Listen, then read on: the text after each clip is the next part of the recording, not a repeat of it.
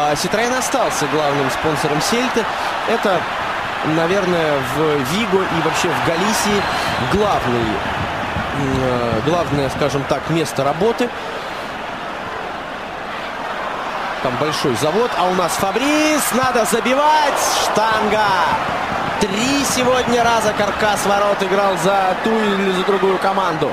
Здесь Фабрис все сделал правильно. Атака продолжается. Вползает в штрафную Бананотте. Прострел, удар, гол! Нет офсайд. Нет офсайд или все-таки да.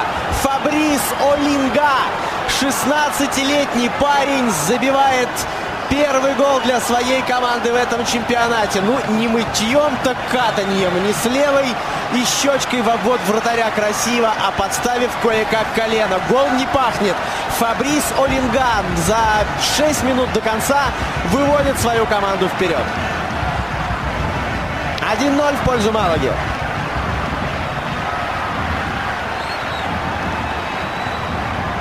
Драматичное начало сезона для Сельты.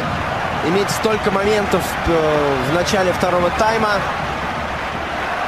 Ведь тоже еще надо забить. Нет, ну, конечно, ни о каком офсайде здесь э, и речь не ведется. Прошу прощения, это я в каком-то запале. Он здесь, конечно, э, боролся с Туньесом и как говорил Владимир Никитич Маслаченко, теперь защитнику остается только посыпать голову пеплом.